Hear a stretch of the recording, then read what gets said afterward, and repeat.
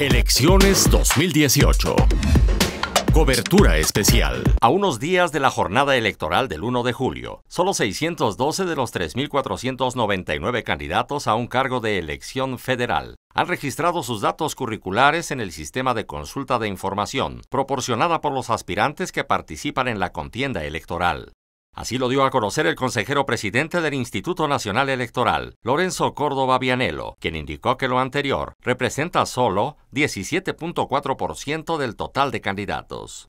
Esta falta de disposición de las y los candidatos para hacer pública su información curricular, si bien no es una obligación legal, desde mi punto de vista, sí es grave si la comparamos con los avances que llegamos a tener en esta materia en elecciones anteriores. Durante su intervención en la sesión ordinaria del Consejo General del INE, Córdoba Vianello señaló que estos datos hablan de una incomprensible involución en materia de transparencia de parte de quienes aspiran a obtener un cargo de representación esta elección, la que llamó la más grande de la historia. Por sí mismo, este retraso, debo decirlo con todas sus letras, es lamentable especialmente en el contexto de desencanto con la democracia, la distancia entre la política y la ciudadanía eh, y las crecientes exigencias que la misma ciudadanía plantea a quienes aspiran a beneficiarse del sufragio.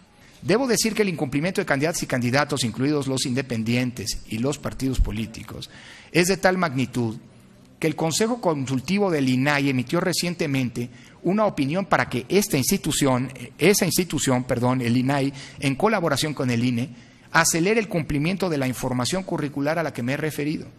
Por lo anterior, estimados colegas del Consejo General, en primer lugar, quiero felicitar a los 612 candidatos y candidatas que han cumplido al día de hoy con su obligación.